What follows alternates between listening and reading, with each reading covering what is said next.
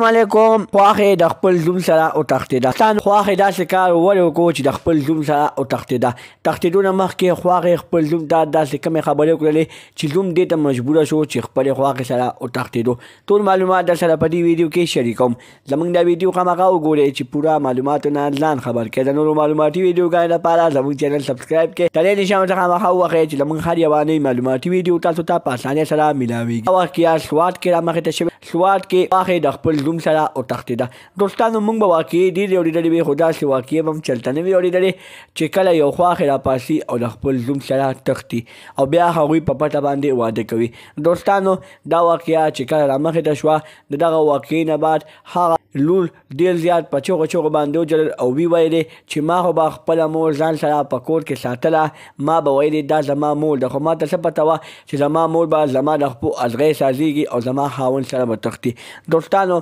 خواخې به د دغه لور نه پټې دغه الک سره زناګانې کولې غلط کارونه کول او بیا دغه الک دې ته مجبور شو چې د خپل خواخې سره وتختی او د خواخې سره واده وکړي دوستانو مونږ به واقعې ډېرې زیاتې اورېدلې وي، خو داسې واقعه به مونږ چرته نه وي اورېدلې چې کله یو خواښې او زوم تښتي او تښتېدو نه بعد واده کوي او بیا خپل کور ته راځي.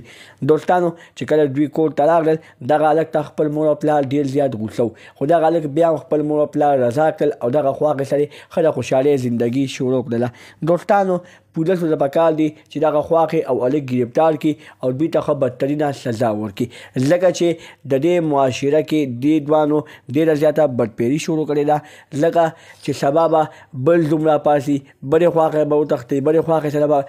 واده وکړي دوستانو د دې روکتام پکار دی د دې روکتام به څوک کوي د سوات پولس کوي موږ د سوات پولس ته دا ګزارش کوو چې دغه دوانه دې ګرفتار کړي شي او دغه دوانه ته دې ښه بدترینه سزا ملو شي د نورو معلوماتي ویډیوګانو لپاره زموږ چینل سبسکرایب کړئ تر انشاء الله سره مخه وخه چې زموږ هر یوه نوې معلوماتي ویډیو تاسو ته په اسانۍ سره ملاویږي وسل